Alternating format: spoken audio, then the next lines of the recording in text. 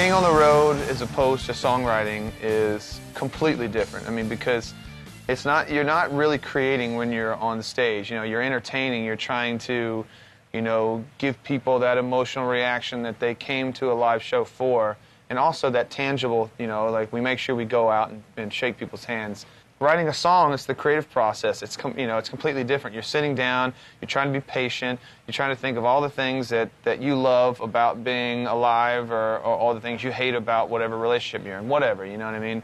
What what do I like better? I, it's hard to say because when I'm in the studio for a week creating songs, I'm tired of creating songs. When I'm on the road for a month, you know, I'm ready to get home. I mainly write lyrics in early in the morning in a hotel room and I have to be by myself. Oh, yeah. My reflection, window, window when I ride for Chicago. She is on the other side. So that's sort of like the main process. I write my best lyrics by myself in the morning in a hotel room. I'm just, I feel fresh, you know what I mean? And and uh, and I write mainly I write the music while I'm on tour, just every day playing a new song like I did in Soundcheck today. That's just a new one that doesn't really have a direction, but you know you let them sort of marinate and blossom. The songs I write on the road are not really any different than the songs I write at home because you know I mean it's just an extension of home anyway. Like my tour bus is sort of almost like you know like a wing of my house you know in California.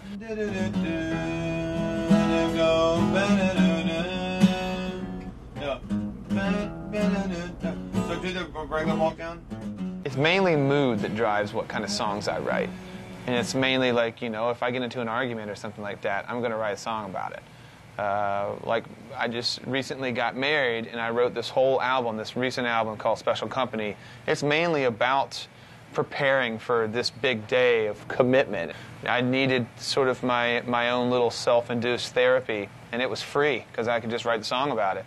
And, um, and that's pretty much how this album came about. It's very autobiographical. Everything I've ever done has been autobiographical. So I would say the worst thing that's ever happened to me is uh, Minneapolis. About a year ago, we had a, uh, a really bad bus accident, and our, our driver hit a patch of black ice and just lost control of the bus and just started flipping. Man, you're like you're just like a human dryer. You know what I mean? Just getting thrown around in this thing and.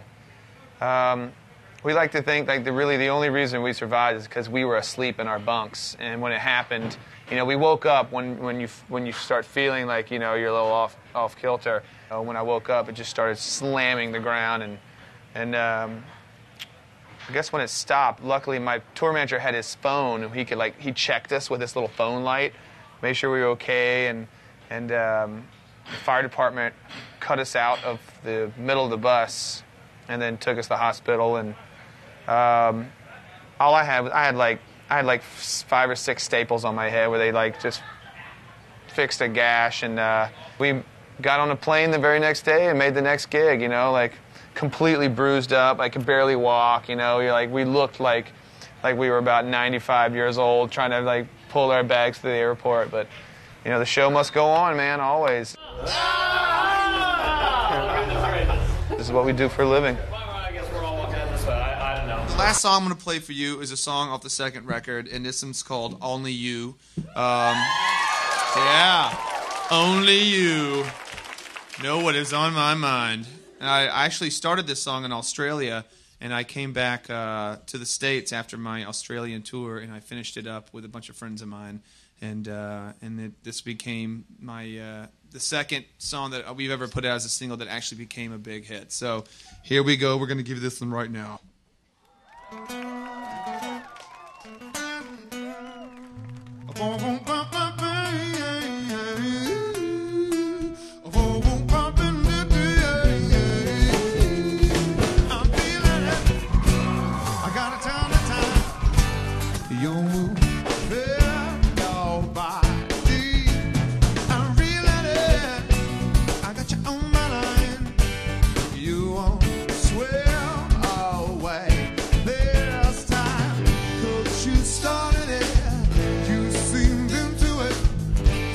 truth.